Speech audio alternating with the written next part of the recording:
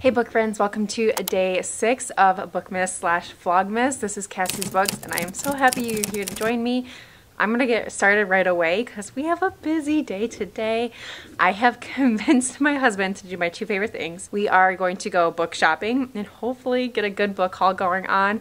And we are also to see the new movie Avatar tonight, which I am so pumped about. It's all the nostalgic, all the cool I'm just so excited to see it because I remember seeing this in theaters as a teenager like multiple times. So I'm so, so excited to see the brand new one. Let's get started by opening my day 19 unplugged box advent calendar.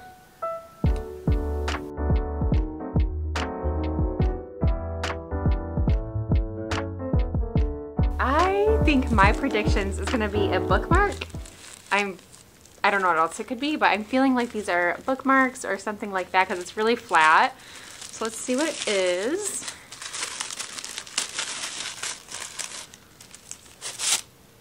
It's definitely not a bookmark. Is it? It's a feather?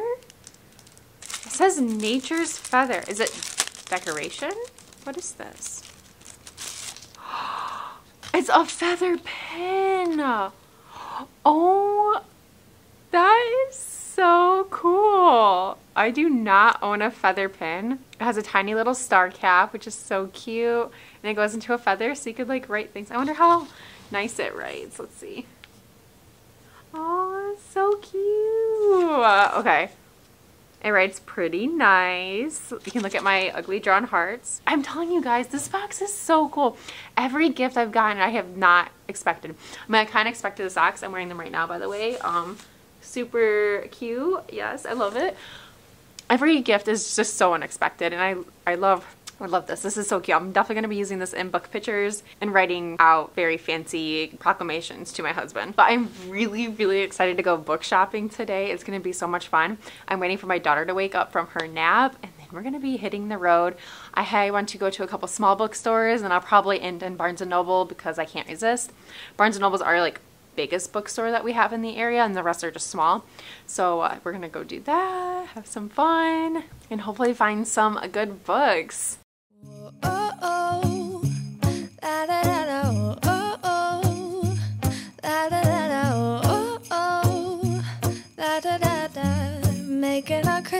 We are on the way to uh, the bookstores right now. We're trying to map out our plan because I want to hit some smaller uh, indie bookstores in our area too. So we'll see if I make it out to Barnes Noble. It is snowing pretty bad here. So we'll see what the roads are like after I hit um, some small bookstores and may or may not make it out to Barnes & Noble, we'll just see. But no matter what, I am going to Tim Hortons. So we're gonna get some coffee and get some donuts. We'll see. These are the good times with you. Baby, this year it's just gonna be you and me. Chill. Isn't this how it's supposed to be? Making our Christmas memories. Oh, and I've been longing to hold you close. Forget about everyone else. Isn't this how it's supposed to be? Making our Christmas. Memories.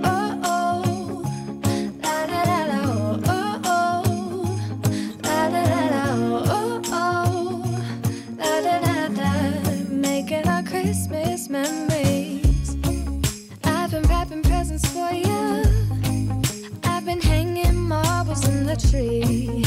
And I've lit my house with Christmas lights. So you should come back home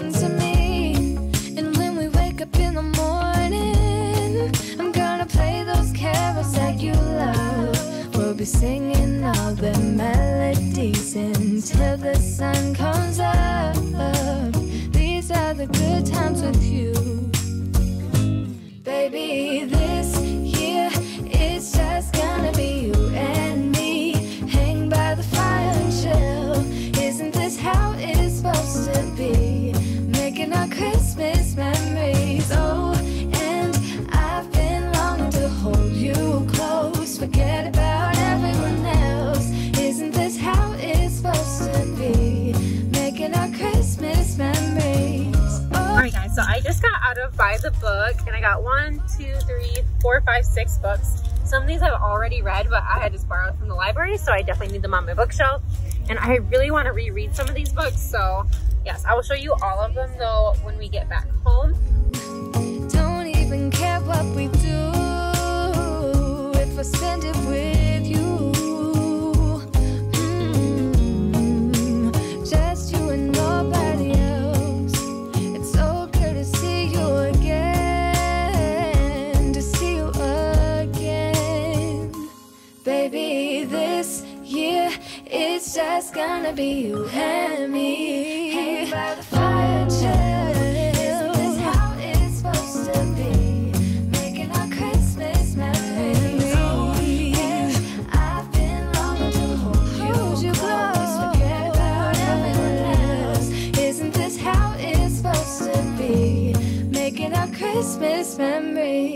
Sorry it's so dark here. It becomes nighttime at 5 p.m. here in the winter, so we're just living in the darkness right now.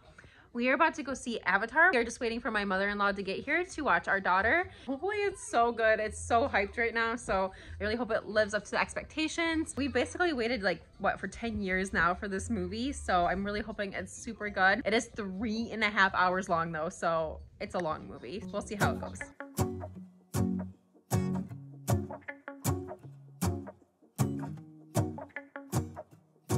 Okay guys, it is the next day. We uh, did our book shopping and then we went and saw Avatar last night. It was so, so beautiful. It was almost like, it was almost like watching a book. It was pretty, my husband thought it was a little slow, but I really enjoyed it. And there was some action, but it was just so well thought out and every piece was so intricate and led into the next scene and it all just needed to be there so everything made sense. It was a three and a half hour movie, so we got home super late, which is why I'm filming this part now. But it was so, so good, and I highly recommend you go see it. I absolutely loved it. It was so stunning, beautiful, definitely worth a 10 or 12 year wait between the very first Avatar to this one. And from the ending, it looks like there's going to be a third Avatar, so I'm excited. It was so, so good. I want somebody to recommend me books based on Avatar because this is so good. Let me know in the comments below if you want me to like do some digging and see if I can find some books that are like the Avatar world. But let me show you the books I got in my book haul. I went to two different local bookstores. We didn't end up going to Barnes Noble because the weather was just too bad. It was storming and Barnes Noble is a bit of a drive from us and we just didn't want to go on the roads when they were icy so we just went to these two bookstores. Let me show you. First bag. Okay, so very first ones, lots of these books too I've already read, but I just want them on my bookshelf. So I got The Giver and Gathering Blue. These are both like such classic books. I loved reading these when I was in like high school and middle school, I believe I read them. I've read it more than once. It's just so good. I love reading about Jonas and the creepy dystopian thing that they have going on in this novel. It's really, really good. Guys, there's a in this one. What? Oh my gosh, this is why I love shopping used books. It says, hello, I know we've never met, but based on your choice of literature, I think we would make great friends. Sincerely, a fellow bookworm. Oh my gosh, that is so cute. Okay, I wish you'd left your number, bookworm person, because I would have texted you. We could have been besties. I found Kingdom of the Ash, which is the last book in the Throne of Glass series. I'm reading Empire of Storms right now, and the next is, what is it? Tower of Dawn. So I still have to buy Tower of Dawn, but now I got this one, and it was $3. $3, guys.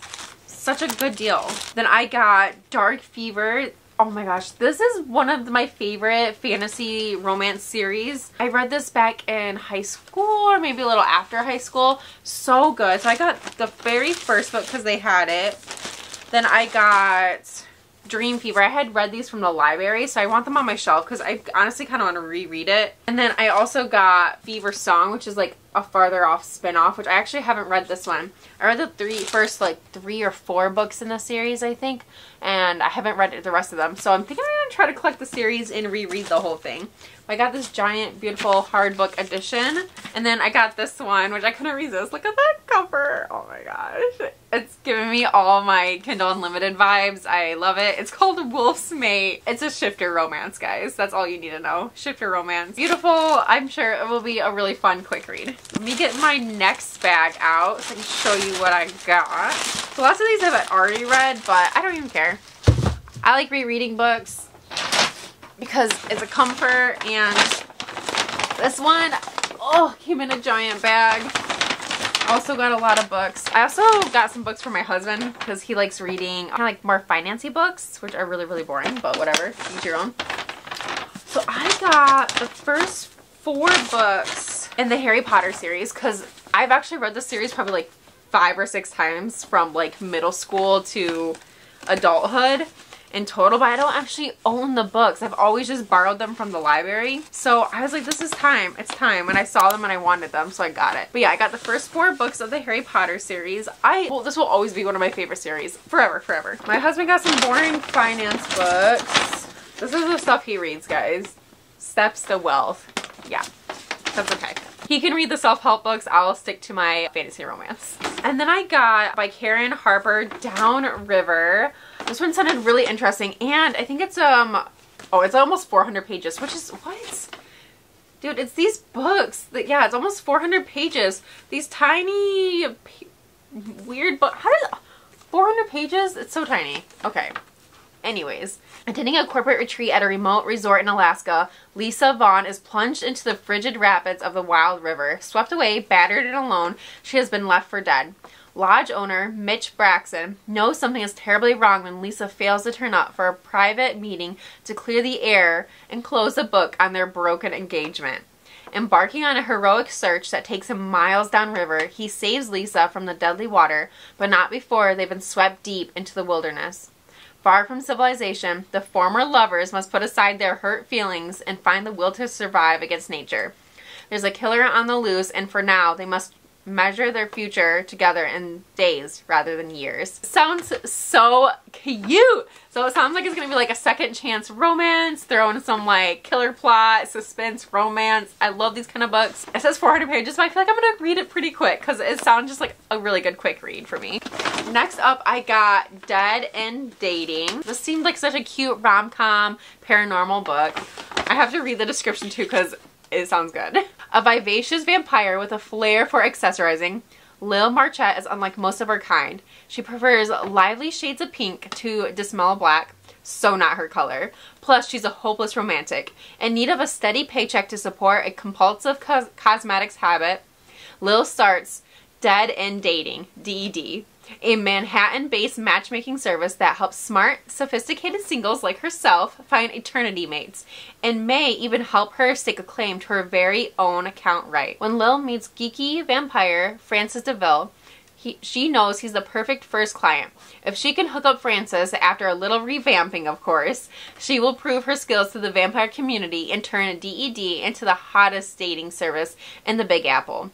But just as her business takes off, Lil meets the literally drop-dead gorgeous bounty hunter Ty Bonner, who is hot on the chase of a serial killer.